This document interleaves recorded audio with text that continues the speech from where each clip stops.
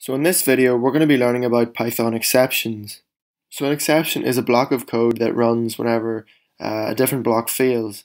So for example, if I try to open a file in Python normally, uh, and the file wasn't there or it didn't exist or I couldn't open it, I would just get an error and the program would crash. But what I can do with an exception is I can provide a way for Python to handle the error so that the program can keep running. So let's try and open a file that doesn't exist and let's see what happens. So if I type in open Oops, uh, and I just say open hello.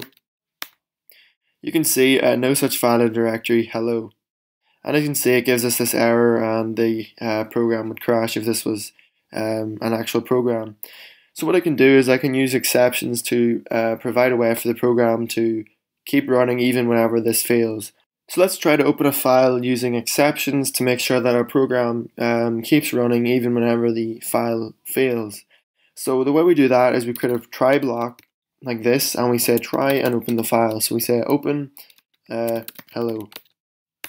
And then what I want to do is I want to say uh, except and the type of exception we want to throw is called an IO error. So we say IO error and then what I'll say is what I want to do whenever the file fails. So in this case I'm just going to say oops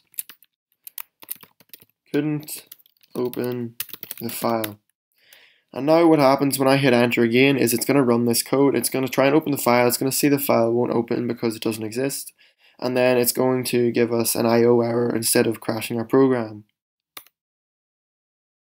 So as you can see, it just says couldn't open the file instead of uh, providing us with some massive error and exiting our program.